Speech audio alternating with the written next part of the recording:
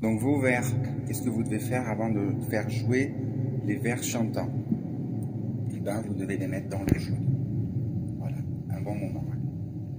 Là, on va faire un set d'un moment un peu long, et du coup, on prend le temps de les mettre dans l'eau chaude pour qu'ils soient disponibles.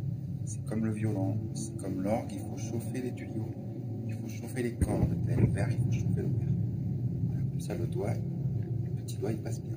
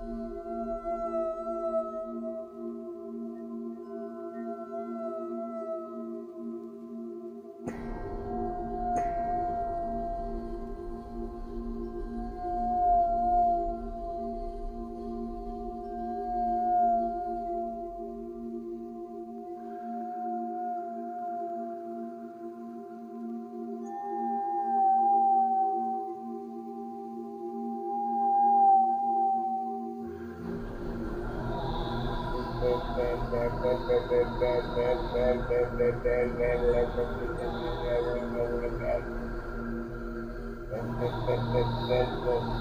you.